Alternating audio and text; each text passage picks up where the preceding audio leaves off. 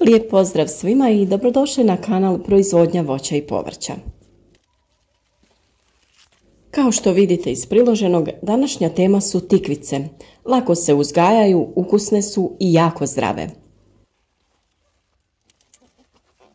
Govorili smo o njihovom uzgoju, šta je sve potrebno da bi imali zdrave biljke, te kako odraditi ručno oprašivanje u slučaju izostanka ploda i opadanja cvjetova. Sve su to teme koje možete uz ostale pronaći u videima na našem kanalu. Također smo još prije preporučili da se tikvice uzgajaju u određenom vremenskom razmaku. Naime, tikvice su biljke koje u kratkom roku daju veliku količinu plodova, te ako to rade sve u isto vrijeme, moglo bi vam biti previše. Zato je potrebno sjeme sijati sa razmakom, na primjer od 10 dana. Na taj način ćete imati plodove u različito vrijeme i naravno bratit ćete ih duži vremenski period. Sada je došlo vrijeme u sezoni uzgoja kada tikvica imamo baš dosta. Naravno da ih ne stignemo odmah sve iskoristiti, zato smo se odlučili da ih na različite načine spremimo za zimu. Pa iz tog razloga ćemo da to podijelimo i sa vama da dobijete različite ideje za spremanje. Prvo i osnovno tikvice je potrebno dobro i temeljito oprati. Za prvi primjer kako možete spremiti tikvice za zimu odlučili smo se na ovu izdubljenu tikvicu. U ovom slučaju tikvice možete ostaviti i neoguljene, ali ih možete i oguliti radi lakšeg daljnjeg spremanja. Izdubite ih sa običnom kašekom, izvadite sredinu i špice te su tikvice spremne da ih zaledite. Usput ćemo da kažemo i nekoliko vrlo važnih informacija o dobrobitima ove biljke, koje vjerujem da niste znali i da kažemo zašto bi ona trebala biti neizostavan dio vaše ishrane. Očišćene tikvice ćemo spakovati u vrećice. Možete da koristite bilo koju vrstu vrećica, ziplok, obične, bitno je samo da su lijepo očišćene i oprane. Mi ćemo ovaj put da koristimo naš aparat za vakumiranje kako bi nam ovo bilo što dugotrajnije. Prednost vakumiranja jeste što se izvuče sav zrak iz vrećice i s tim je samo povrće dugotrajnije, te ćete spriječiti širenje neugodnih mirisa po vašem frižideru ili zamrzivaču. Tikvica je jedna od najkorištenijih namirnica u jelovnicima. Jede se na niz načina, od kuhane, svježe, samostalnog priloga, kao dijela različitih jela, od variva do burgera, pa čak i u desertima. Dakle, ako volite tikvicu, pronaći ćete načina da ona završi na vašem tanjiru. Tikvica inače spada u porodicu tikvenjača, uz biljke poput krastavca, lubenice, dinje i različitih vrsta bundeva. Iako se smatra povrćem, kažu da se tikvica botanički definira kao voće. Nalazimo je u nekoliko vrsta, a vrste se ponajprije razlikuju po boji, od snažne žute do tamno zelene. Da se ostavi da raste, tikvica može narasti čak do metar dužine, ali je se obično bere ranije kada dosegne dužinu od 20 cm. Te manje se koriste za ovakve načine pripreme, sada smo ju ogulili i očistili sredinu, te ćemo da ih tako zaledimo i kasnije koristimo u različitim receptima gdje ih možemo puniti sa mesom ili nekim drugim povrćem. Tikvice se u narodnoj medicini koriste stotinama godina za liječenje ili ublažavanje niza medicinskih stanja, od prehlade različitih bolova do niza drugih teškoća. Naime, tikvice su inače iznimno nutritivno bogate. Bogate su vitaminima, mineralima te mnogim za zdravlje pogodnim spojevima. U samo 100 grama kuhanih tikvica nalazimo malo više od 7 kalorija, a od nutrijenata su bogate vitaminima A, C, K te vitaminima B kompleksa, manganom, kalijem, magnezijem, bakrom i fosforom. Vitamin A kojeg ima najviše u tikvicama doprinosi zdravom vidu i jačanju imuniteta. Sljedeći način na koji ćemo zalediti naše tikvice jeste ovako nareždan na ploške.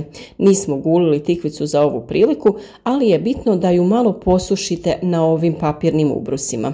Tada ih lijepo poredate ravno u vrećice i one su spremne za vakumiranje ili samo da ih zaledite. Sa ovakvim tikvicama također postoje razno razni recepti za koje ih možete iskoristiti. Tikvice su bogate antioksidansima, spojevima koji štite organizam od negativnog utjecaja slobodnih radikala i procesa oksidacije. Pogotovo u tikvicama nalazimo karotenoide poput luteina, zeaksantina i beta-karotena, koji doprinose zdravlju očiju, kože i srca te pružaju zaštitu od nekih vrsta karcinoma poput karcinoma prostate. Sitnije tikvice smo iskoristili za druge recepte, dok ćemo ove veće iskoristiti da ih narendamo. Sredinu možete da izvadite kako špice ne bi odlazile u ovaj lijepo izrendani dio mesa tikvice. Tikvica se opere, oguli, očistio se sredina i narenda.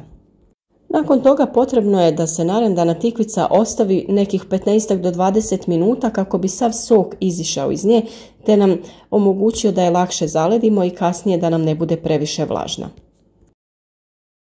Od dijelova tikvice antioksidantima je najbogatija kora tikvice, pa se savjetuje tikvicu konzumirati bez guljenja. Također antioksidansima su bogatije tamno zelene tikvice od onih žuti, pa ukoliko vam ne smeta, koru možete ostaviti u svim ovim receptima. U ovom slučaju zaledite onu količinu koju smatrate da će vam biti dovoljna za jedan obrok. Ovako pripremljena tikvica najlakše se koristi kod pripravljanja uštipaka od tikvica ili sličnih jela. Naravno, mi ćemo kasnije da sa vama podijelimo i različite recepte, ideje kako mi to koristimo tikvice u našoj ishrani.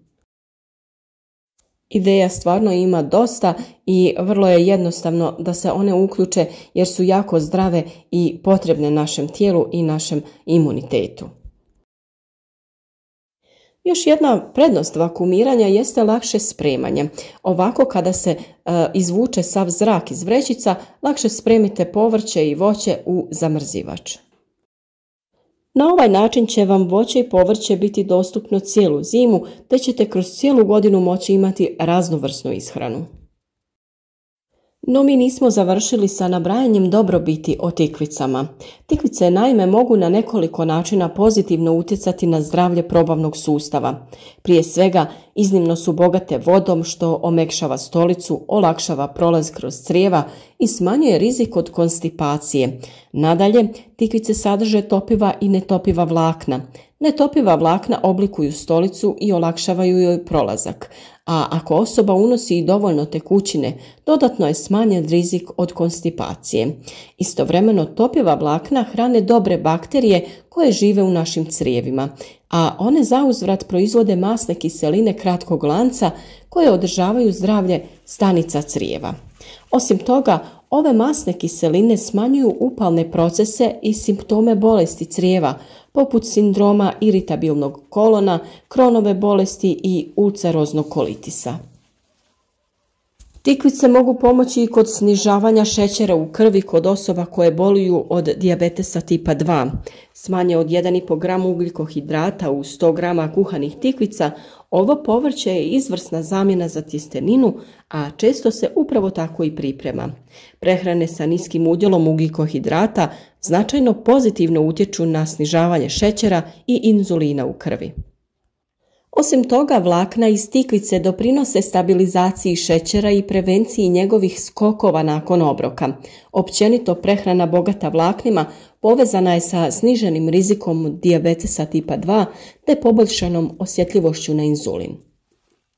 Visok udio vlakana može značajno pozitivno utjecati na kardiovaskularno zdravlje, zbog čega se tikvice smatra obaveznom namirnicom na jelovniku. Pektin, tip topivih vlakana koja nalazimo u tikvicama, posebno je učinkovit u smanjenju ukupnog i lošeg kolesterola. Također tikvice su bogate kalijem što snižava krvni tlak tako što utječe na proširenje krvnih žila. Na kraju prehrana bogata karotenoidima koje nalazimo u tikvicama pokazala se zaštitnom od srčanih bolesti. Kako već rečeno, tikvice mogu doprinijeti i boljem vidu, a zasluge za to pripisuje se vitaminu C i beta-karotenu, dvama nutrijentima koji su važni za zdravlje očiju. Tikvice sadrže antioksidan selutein i zeaksantin, koji se nakupljaju u mrežnici gdje poboljšavaju vid i smanjuju rizik od očnih bolesti povezanih sa starenjem. To uključuje snižavanje rizika od makularne degeneracije, koja je primarni uzrok gubitka vida u starijoj dobi. Također, oni su povezani sa smanjenim rizikom od razvoja katarakte, odnosno mrene na očima. I zadnje, ali ne manje važno, jeste da tikvice doprinose gubljenju kilograma. Redovna konzumacija tikvica može doprinijeti gubitku viška kilograma. Ova namirnica je bogata vodom i ima nisku kalorijsku gustoću, čime doprinosi osjećaju sitosti uz jako nizak unos kalorija. Također i vlakna koja sadrži smanjuju osjećaj gladi i odgađaju unos sljedećeg obroka.